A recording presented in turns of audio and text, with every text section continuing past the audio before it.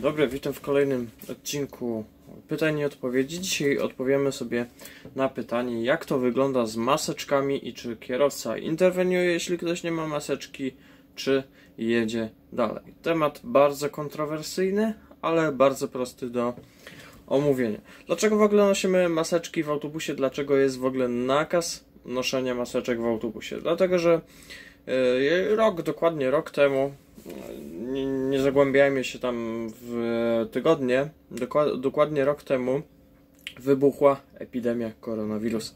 I z tego względu, y, że autobus jest pomieszczeniem zamkniętym, wprowadzono nakaz noszenia maseczek w autobusie.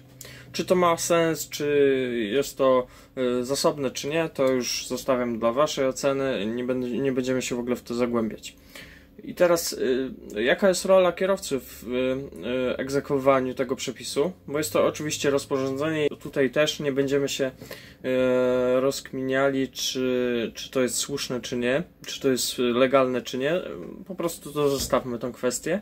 I teraz jeśli chodzi o kierowcę, kierowca jest odpowiedzialny za pasażerów. A więc e, jeśli e, jest nakaz nos noszenia maseczek w autobusie, to również za to też jest odpowiedzialny, żeby to sprawdzać.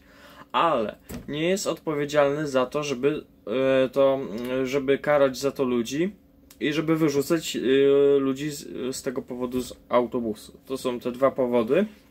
Kierowca autobusu jest zobowiązany, aby upominać pasażerów, którzy nie mają założonych maseczek, a w razie konieczności, gdyby taki obywatel nie chciał założyć maseczki, kierowca ma prawo wezwać policję lub straż miejską, a więc służby odpowiedzialne za to, żeby karać, wyganiać i cokolwiek robić z pasażerem.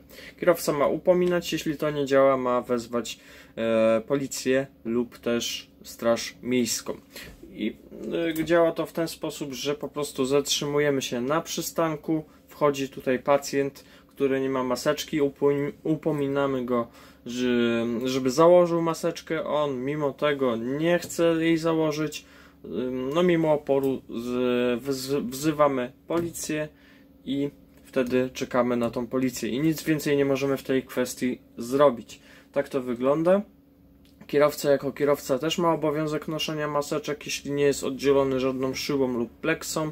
Tutaj na liniach regionalnych my właśnie sprzedajemy bilety, więc jesteśmy, jesteśmy zobowiązani do noszenia maseczek. Na liniach miejskich wygląda to tak, że jest strefa wydzielona i szyba, więc nie ma takiego obowiązku. I teraz yy, bardzo ważna kwestia oznaczeń. Oznaczenia są na drzwiach, jednych chyba na tych drugich nie ma, ale tutaj w środku też jest informacja o tym, że jest nakaz noszenia maseczek, także tak to yy, wygląda. I teraz, e, czy zdarzyły mi się takie sytuacje, w których musiałem wzywać policję? Osobiście nie miałem takich problemów. Zazwyczaj ludzie mieli maseczki. Na początku zdarzało się tak, że nie chcieli założyć, ale gdzieś tam mieli schowane, więc nie było potrzeby wzywania policji, ale mm, generalnie takiego pasażera powinno się, powinno się nie zabrać. Chociaż jest wokół tego jest dużo kontrowersji. Właśnie jestem ciekaw waszego zdania na ten temat, czy to jest słuszne, czy mm, kierowca powinien egzekwować ten przepis, czy to do niego należy, czy nie.